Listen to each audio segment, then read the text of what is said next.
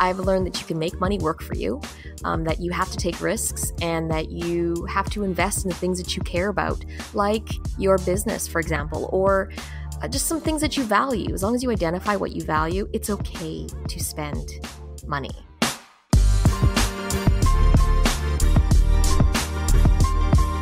Hi, guys. We're your hosts, Gillian and Cailyn, and this is Teach Me How to Adult, a podcast on all the things you never learned growing up, like how to buy a home, manage stress, crush your love life, land your dream job, and how to love yourself more, because we could all be a little kinder to ourselves. We're still figuring out how to get our shit together, so we're calling in the experts and the hustlers for some real talk and legit tips on how to live your best life. Adulting isn't easy, but we got you. More money, more problems. She works hard for her money. If I had a million dollars. Bitch better have my money. Clearly, money is on everyone's minds, but most of us can't seem to make sense of how to manage it. And people still don't know how to talk about it. And especially now, as we all navigate the effects of the coronavirus on both the economy and the workforce. So, today, we're diving into money management and the psychology behind how we spend our money with finance expert Melissa Leong. So, we spoke with Melissa a while ago before the coronavirus hit. So, our conversation isn't specifically about the current financial climate, but her advice on saving, spending, and improving your relationship with money is more relevant than ever. So, keep listening. And we know that money might be tight right now for a lot of us. These are stressful times financially, so please make sure that you're consulting with a financial advisor or a trusted expert if you do need help. And make sure you're taking advantage of any financial resources that you might be eligible for, like the Canada Emergency Response Benefit if your income has been affected by COVID 19. So, we both grew up in families where we didn't really openly discuss money. It was a bit of a taboo subject, and we weren't learning it in school. Financial literacy wasn't taught in high school and mm-hmm. wasn't in my degree in university. So, we've been navigating it blindly till our mid to late 20s with no resources. It's true. And I didn't start to get my finances together till about my mid 20s. But between the two of us, we wanted to share five key things that helped us get our financial shit together. So, the first step from our personal experience was figuring out what our fixed costs were and what our after tax income is. So, fixed costs are your student loans, your mortgage, your rent, your hydro, internet, insurance, basically all the things that you have to pay down each month. And you want to ensure that these costs are covered in your budget and that you're chipping away at being debt free. And then your after tax income is what you're actually taking home on your paycheck.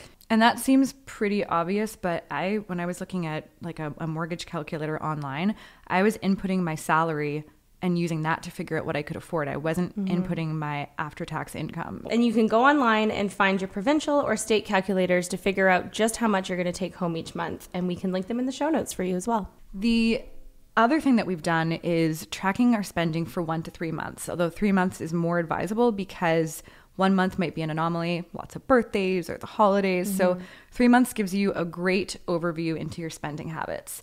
And we like to use apps to make that easier. So I use TD MySpend and it's super helpful. It breaks it down into needs and wants and categories like how much you're spending on food, on entertainment, on transportation, all that stuff. And once you know where your money's going, you'll have a better idea of where you might need to cut back. And if you're spending a bunch of money on something that's not actually a money value, then you can reevaluate. Because most of us are just kind of like operating without any idea of what our habits are and what we're doing. One of my friends, she couldn't figure out why she wasn't saving any money when she didn't really have any fixed costs. And we opened up her TD MySpend app, and the amount that she was spending on shopping was pretty shocking, pretty eye opening. But wouldn't have known that if we hadn't looked. It's true. That's the amazing thing about these apps is they're not going to bullshit you. They're going to show you every single thing you've spent. Give you good hard cold look into into your life. It's true. Um, so I use Quicken, which uh, is very similar to TD MySpend in the sense that it breaks things down into categories. But what I love about it is it will sync my investments, my credit cards, so it doesn't just have to be TD.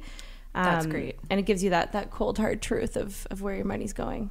Once you know how much you make and how much you spend, prioritize building up your emergency fund especially right now when there's so much economic uncertainty and job instability in the near future, it's so important to save up and contribute to that emergency fund. It could really save your ass in the future. So aim to have three months of living expenses saved up if you can. And the next tip that's helped us with our finances is getting clear on what our money values are.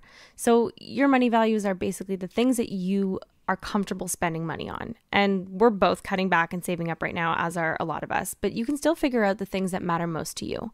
So, after you've figured out how much money you actually take home and you've deducted all your fixed costs, paid down your debts, and all those other keeping the lights on obligations, you can then look at allocating the rest of your money to those money values. So, for me, one of my biggest money values is travel. And even though Gabe and I will not be traveling anywhere anytime soon, I'm still saving up for when we're all able to travel again. Same. Travel is such a big one for me. I can't wait till we can do it again. and honestly, Ubers and transportation have always been where a lot of my spending money goes because that's just a big money value of mine. But obviously, I've cut back on that entirely. And I've been using this time to invest in some courses and creative programs and just like general self help and audiobooks because those kinds of experiences have always been big money values. And the payoff is big for me right now. Love that. Totally agree. And lastly, you want to find a goal and stick to it. It is really hard to save if you don't know what you're saving for. So, whether it's a new car or a down payment on a home or an exciting new trip, you just need to get clear what your goals are so that you can have some purpose behind all of your saving. But we're not the experts, so we called in the financial guru we all need in our lives, Melissa Leong. She's the author of Happy Go Money, a best selling book that tackles the relationship between money and happiness. And she's a finance expert on Canada's leading daytime talk show, The Social. She actually makes figuring out your finances fun, approachable, and easy to understand. Teach us how to manage our money, Melissa.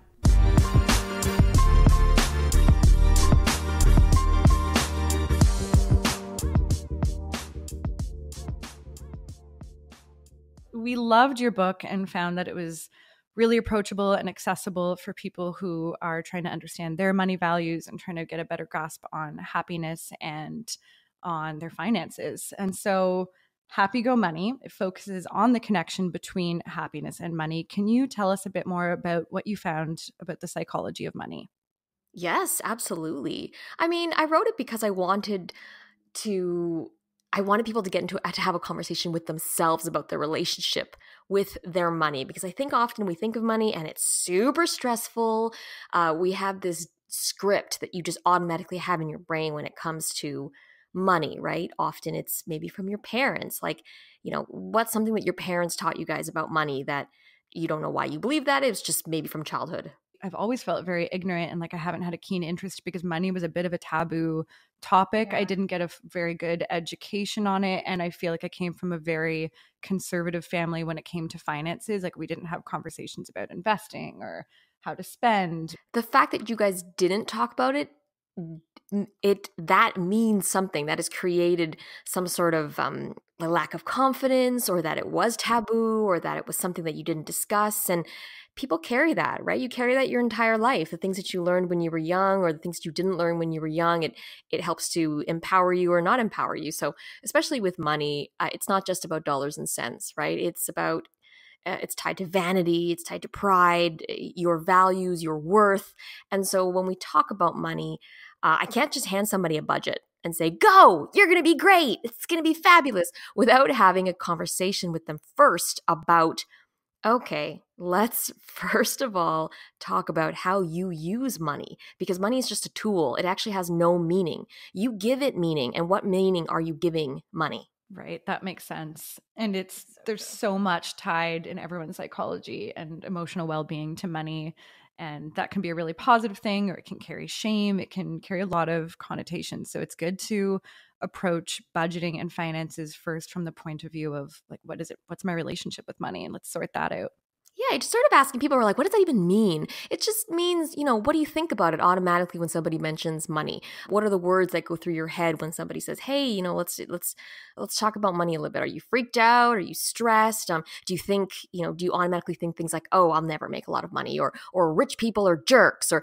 just those automatic things that seem to come up? And do you feel negative about money, or do you feel positive about money? Those are some of the indicators about how you approach it. And it could either harm or help you when it comes to building wealth. When I first met my husband, he was born in Brazil.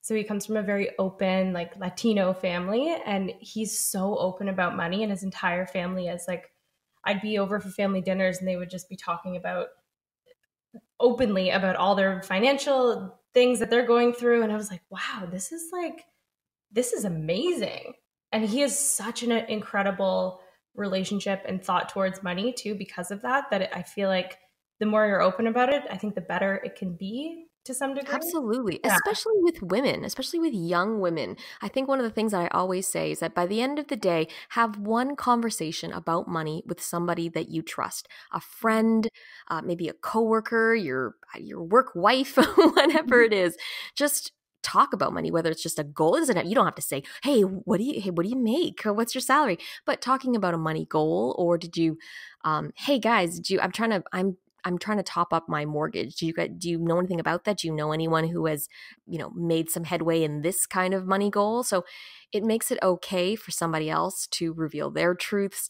It makes it okay to talk about money and together we can empower each other to make that conversation easier. And plus, you know, according to research, when you have peer support, when you have the support of friends, your goals are met a lot easier. That's a great point. That's true. And approaching it from a goal perspective is really helpful. I feel like when I was saving for a down payment um, to buy a home, I felt like I, I, felt kind of guilty, like I was being very cheap around my friends and I didn't know how to talk about it. And I just felt like I was never down to do things and I couldn't afford to do the things I wanted to do because I had goals, but I didn't approach it in a positive way. Like looking back, I wish I had been like, hey guys, here are my goals. I would love some support and I would just love for you guys to understand what I'm saving for and kind of what I'm aiming for right now. But instead, I was just like, oh, I can't do that right now. It's not in my budget.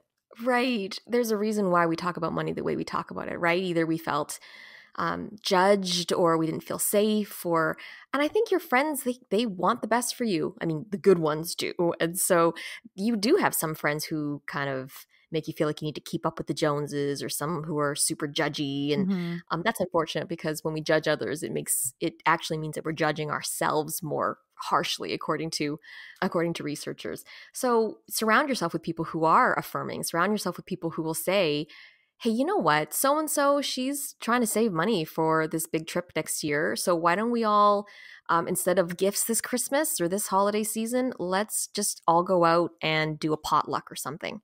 So have you always been this positive about money? Like, has this always been sort of oh my your, gosh, your no.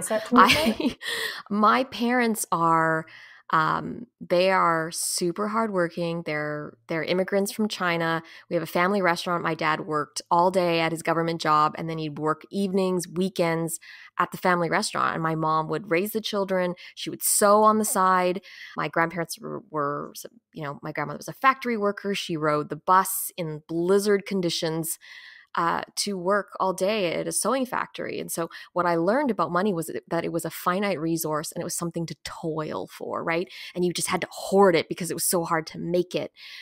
And as I have educated myself, as I have married someone who has a very different philosophy about money than I do, I've learned that you can make money work for you, um, that you have to take risks, and that you have to invest in the things that you care about, like your business, for example, or Uh, just some things that you value. As long as you identify what you value, it's okay to spend money. Before, I think I was just uber cheap and that wasn't making me happy either, right? So it is about balance with with a little bit of strategy. This is like a perfect segue because I know that you have said that money can buy happiness. You just need to know how to spend it. And I guess a lot of that too is coming up with what matters to you and what your money values are. So, can you explain that sort of philosophy a little bit to our audience? Part of being an adult is making choices. And personal finance is just is all about choices. We are all different. No one, no one can tell you not to do something. Do not let anyone tell you that you can't buy that latte if you really love to have that latte. It's not about that. It's not about counting every single penny that goes out your door. It's about choosing something that you enjoy, something that you value, determining what it makes you happy, and then allocating your resources to that, and then sacrificing elsewhere. So, if, for example, you think, you know what, these are the three things I value most in my life, let me devote my time and my resources to that. Everything else can go by the wayside, I suppose. It, it, it um, you know, if you have a specific goal, for example. So if you have a goal by the end of the year, I hate feeling stressed about my credit card debt. So I'm going to spend the year just tackling that sucker. That means, let's see, what do I value? I value my family. I value my friends and I value creativity. So I'm going to keep, you know, I'm going to keep trying to allocate money to seeing my friends and going out with them. I'm going to keep spending money on this this um, painting course or this photography session that I want to do. But you know what? I don't really care so much. Or the values that surround, like I don't know, um, manicures or, or shopping for random clothes or whatever. It's not it's not core to who I am. That's not what I value. So I really should stop spending my money on that stuff. Right. So can you walk us through budgeting 101 for anyone out there who has never created a budget before and doesn't really know how to go about it? And are there any tips on how to stick to it? We're going to talk about it without using the B word because that makes people just fall asleep instantly. Um, I'm going to talk about it in this in this in the sense of creating a strategy for your money. So you have to know the inflow and the outflow of your money to figure out whether or not you're actually spending on a, on stuff that's important to you. And so budgeting is just figuring out how much comes in. Look at your paycheck. If you are self-employed, estimate how much you think you make in a certain month or a certain year if that makes it easier for sort of a year salary.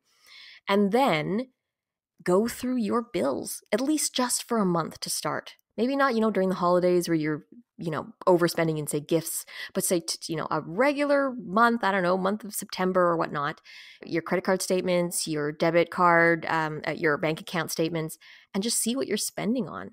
Hopefully you are earning more than you spend because that is the key to financial success. I don't care what anybody tells you they can give you a hot stock tip but the key to financial success at the end of the day earning more than you spend.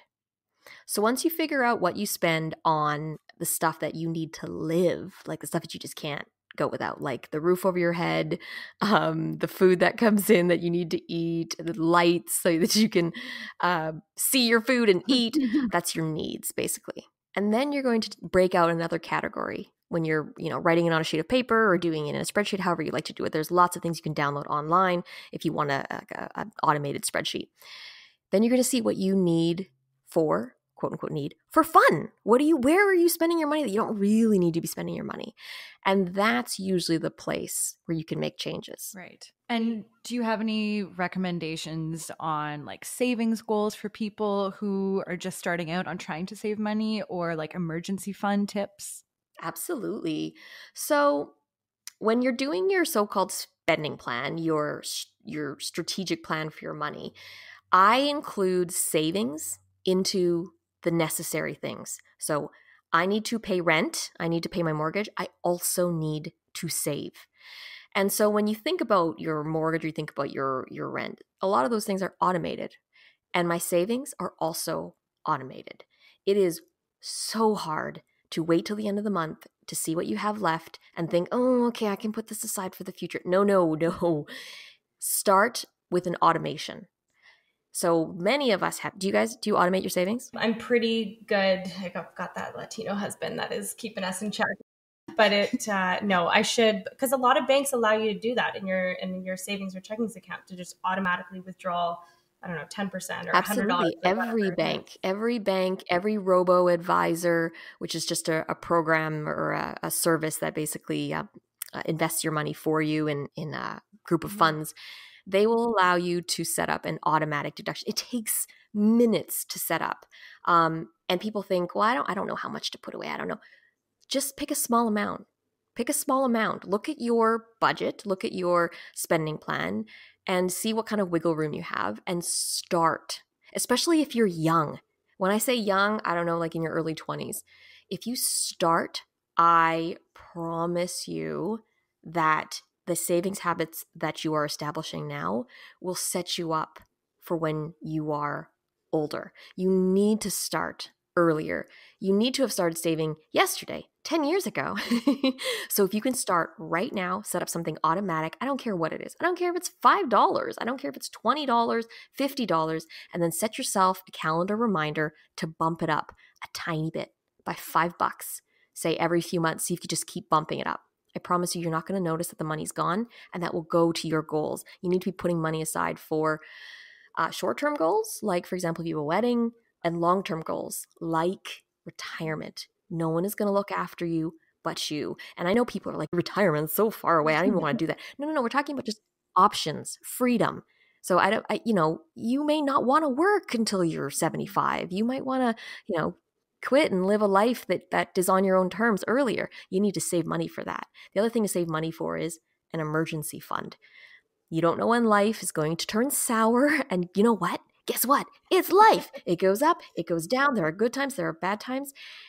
You don't want money to make your life's problems even mm-hmm. worse, right? If you have, uh, if you lose your job, if you have a health issue, having money issues would make everything so much worse. So you need to set aside some money depending on whether you have a I don't know if you're a freelancer, then you need a little bit more, but you need to set aside, say, three months of living expenses that will just cover you so you're not on the streets. You yeah. need to pay your you need to be able to pay your mortgage.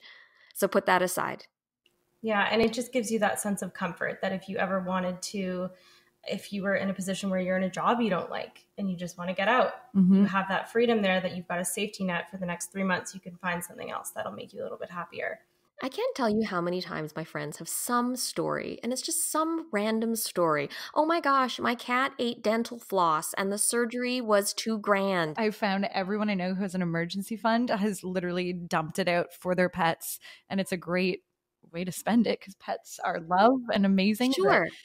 Yes, those things blindside you, or like a car breakdown, or all these things that you just don't know. And then you're like, ah, that's a few thousand dollars that I have not saved for whatsoever. And so, where mm. are you going to get it from? You're going to get it from your credit card, and with a 20% mm. interest rate on it, that is going to hurt. or if you have a line of credit, but it's still debt, right? It's still stressful. Totally. And what about uh, company RSP programs or employee share pr- programs? Do you think that those are, I mean, I've I've had the privilege at my last or two companies that I've worked at. Um, they've had RSP programs that I've taken advantage of, but I think it can be a little bit daunting to some people. How do you feel about those those corporate programs? I think any program where you are essentially getting free money is go run run there now. Like flip your desk and run to hr like that's what i would say. Because not everyone is fortunate enough to have that kind of fabulous opportunity where somebody's basically saying, "Oh, you know what, if you sign up for this matching program, if you contribute money to your for your retirement, we will match a portion of it. We're just going to give you money for your retirement." And you're like, "What? Nobody gives me anything for free." So, this is an example where you need to be taking full advantage of that. And so I, I know it can seem overwhelming, but that's what HR is for. They're there to answer all of your questions. You don't have to tell anyone. You just walk there and set up a meeting, send an email like right now. Literally, you're listening to this. Well, maybe after the after the podcast is over, send an email to make sure you know what the terms are. Am I signed up? Am I giving? What is the max? How much can I be uh, contributing? Can I automate it? How do I set this up? by the way, do you have, you know, any kind of life insurance or disability insurance that I could also sign up for on a cheap? Talk to your coworkers about it if you trust them. You're like, hey, are you signed up for this? Like, what was the process? Get out, get on that. God, I wish I was having these conversations four years ago, but I just wasn't. Like I'm I'm 28 and I'm just starting to be like, oh wow, am I leaving money on the table? And the answer is yes. And am I making smart choices? No.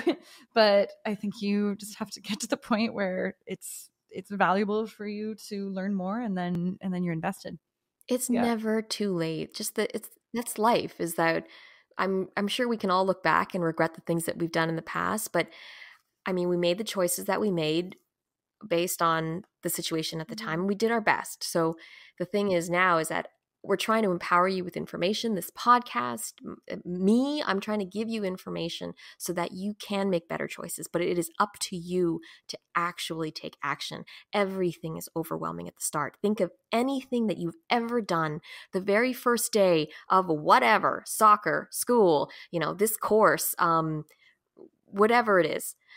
It was always tough and you always felt like a fish out of water. But the second step is a little bit easier and the third step. So you just have to take that one. Yeah, that's true.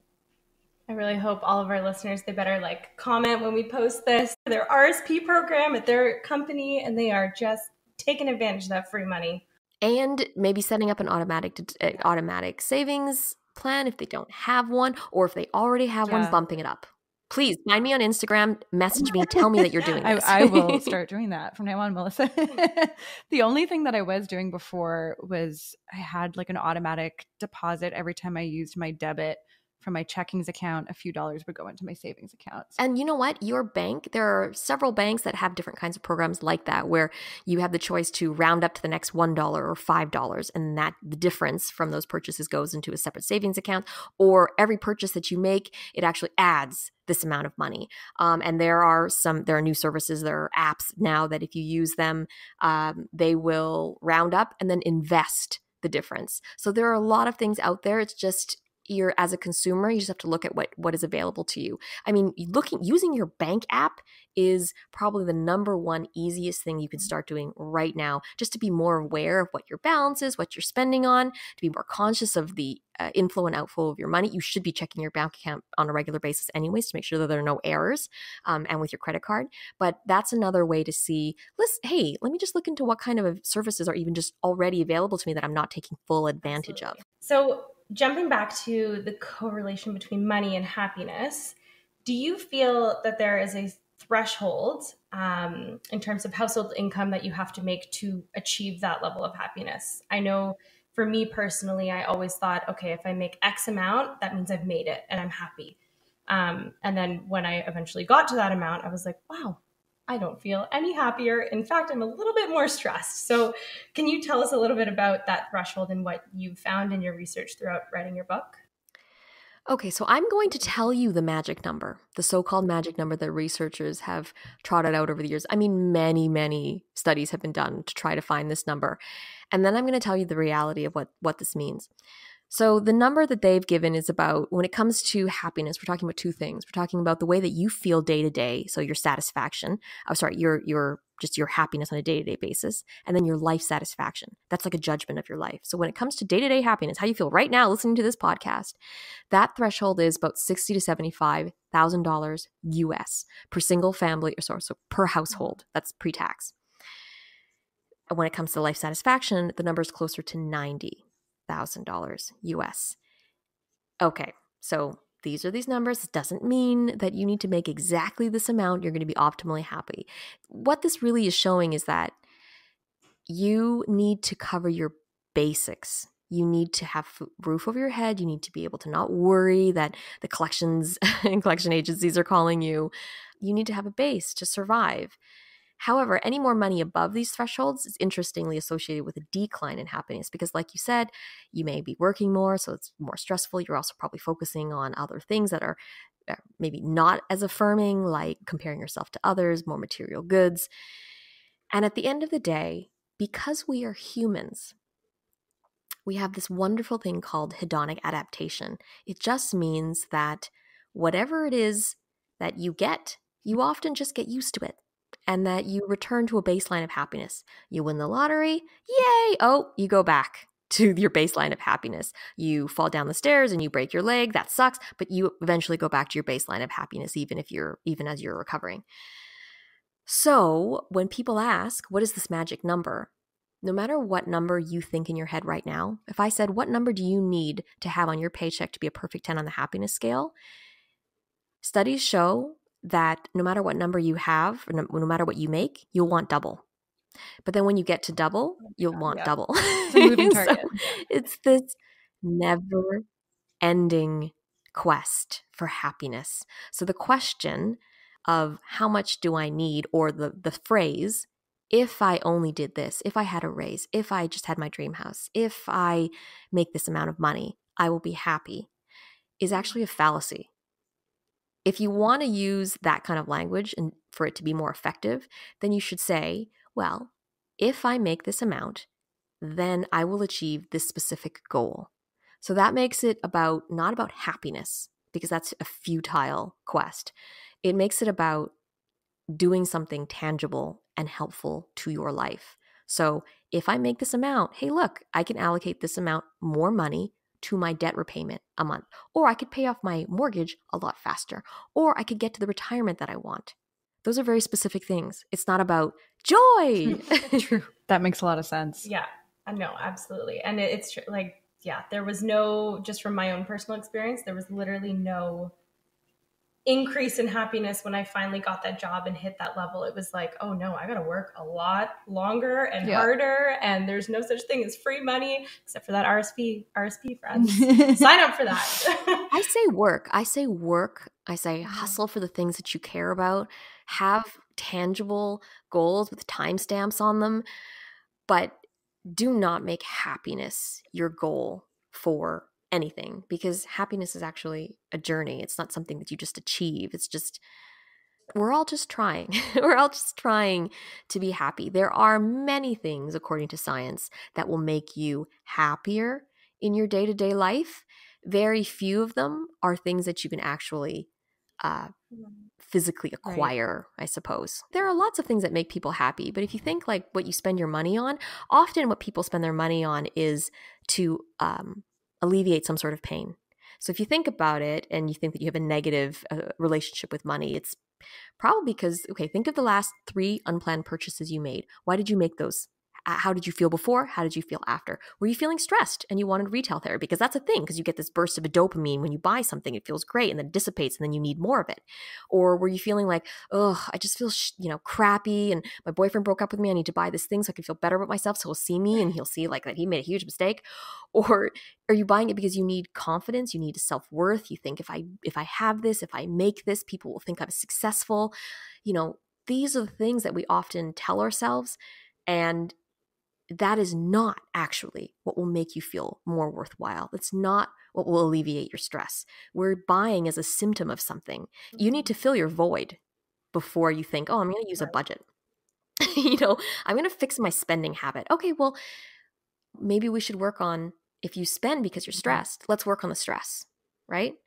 Then spend your money on some meditation classes. Let's um, spend your money on um, spending more time with your loved ones or on experiences because if you feel crappy when you buy a certain thing then spend it on something that bonds you to people like experiences are more um, they give you greater bang for your buck than say buying a, a thing that is usually enjoyed alone. So in terms of the language we use when we talk about money i kind of touched on that earlier with you know how i addressed my budgeting goals for a down payment and how I kind of wish I had addressed it. But how can we flip the script and speak about money more positively to ourselves and to other people? I think just being aware of the way that you automatically talk about your money is the first huge hurdle. Sometimes we just live life and we don't even listen to our internal dialogue, right? We're so down on ourselves sometimes, even just the language that we use about ourselves. We're like, oh, you know, I suck or I'm never going to do this or I can I can't get this or I'm not good at money or I don't know anything about investing. How am I ever going to save enough money? And there's a lot of shame and there's a lot of guilt. And so being aware of how you put yourself down when it comes to finances is probably a first step. Talking to other people um, and sharing your truth and being uh, having a commitment to saying, you know what, guys, let's all talk about ourselves and talking and to talk about money in a more empowering way. Let's do that. Let's just flip it. So instead of saying you're broke, just say that you're working on some goals. You know, I'm working on paying down my debt. You're not broke. You're you're you're you're you're working on something. That will be a lot more helpful. I mean, I don't feel empowered when somebody bullies me. So if you're bullying yourself in your mind, that is it's yeah. just you're doing yourself a disservice. Not, it doesn't make you have a healthy relationship with your finances because you're just shrouding your finances in guilt and bullying and shame and all of these things as opposed to putting a positive spin on it. Often confidence mm-hmm. comes from doing something.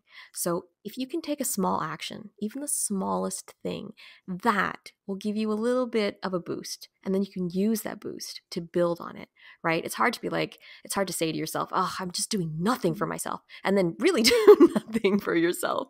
You know, if you decide, I'm going to start saving just a little bit of money, whatever it is. I don't know. Just every single time I see a $5 bill, I'm going to stick it in this jar or I'm going to put it away. And then by the end of several months, I'm going to have enough money to, you know, be in my best friend's wedding and not be so far behind, right? In in the hole to mm-hmm. be able to like get the dress and the makeup and all this stuff. So whatever it is, some small action. You know, even if it's thinking about, you know what, I do kind of want to get more proactive about investing my money. Okay, I don't know anything about investing. How about this? Just just if you want to invest your money, do you want to do it yourself or do you want to do it with someone? If you want to do it yourself, then that is a journey that you're going to take. If you want to do it with someone, okay, well, that's a great realization. Then that's the next step is to find someone, to find someone you trust, whether that's at your bank branch, whether it's just, you know, asking friends and family for referrals, for a, an advisor who will work with you, a coach who will work with you, or maybe it's if you don't want to work with a person, maybe you just want to do it totally online, that's looking into the many robo advisors that you have at your disposal. That's just you answering a questionnaire online and having a uh, you know somebody create a portfolio based on your questionnaire and if you have questions you can call them or message them right? And so small steps you don't have to do all of that in a day but you can make a goal say by the end of the week that you're going to look into it and do something about it. You can bump up your automatic with um, your automatic savings plan for example you can call hr and set Yeah. up a meeting Yeah, you're right. It is a huge confidence booster when you take those small steps. Like I just opened my first TFSA and I was like, I should have done this a while ago, but I'm feeling good about it. And I just had so much more pep in my step that day. And I felt super proud that I like went and talked to someone and took a step towards getting my shit together financially. good i'm glad that's amazing Yeah. For anybody who doesn't know what that is, a TFSA is a tax free savings account. And anybody over the age of 18 can open one, and it is awesome. But I need to also preface that by saying it is not a savings account. I, I just need to make sure that I say that as an aside, guys. Um, it, it's called a savings account, but it's the the power of it is that it's an investment account. So don't just open one up and stick money in, take money out, and stick money in, and take money out. If you want to use it to its advantage, put investments in there. So say you had a regular account that you were investing your money in. Um, say you just bought some. Um, say you bought a, a mutual fund. So it's just like sort of a a very common kind of investment that a lot of people have. A mutual fund, we're like, what the heck is that? A mutual fund is just a basket of stocks. So just like a whole bunch of stocks in one. You just buy this one product. If your mutual fund is doing well and you it goes, you know, rises in value and you sell it, you pay taxes on the profits. But in a tax-free savings account, your investments would grow tax-free. So you don't pay taxes on it.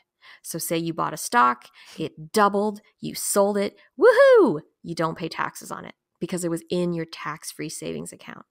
And so you want to use your tax-free savings account for investments and long-term savings.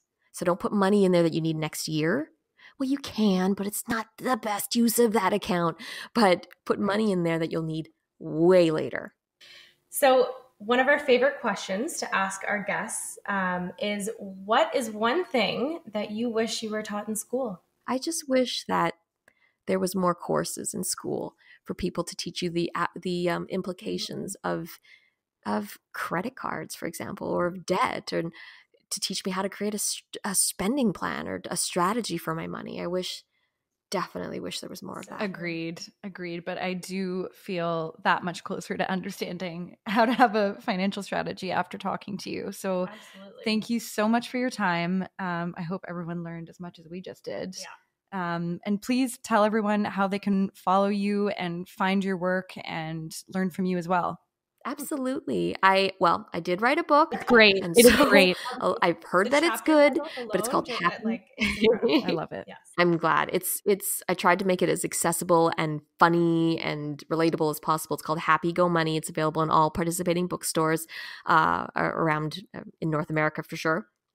And uh, you can find me at melissaleong.com to find out more about um, just where I'm speaking and uh, where I've been, usually on TV or on radio, talking about money. And finally, social media, the only place that I can figure myself out is Instagram. So follow me at Lis Leong. Amazing. Thank you very much for for having me. Thanks, Melissa. So there you have it, guys. We hope you're super inspired by Melissa's real talk about money. Slide into our DMs and Melissa's to keep us updated on how your financial journey is going. We'll leave you with a quote from the iconic Candace Bushnell, author and producer of Sex and the City. Remember, while there's a talent to making money, it takes real talent to know how to spend it. That's what she said.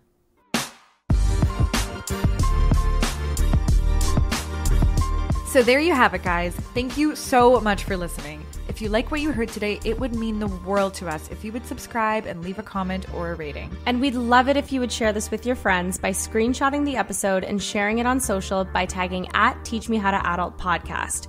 And DM us with any topics or guests you'd like to hear on the show. See you next time. Bye. Bye.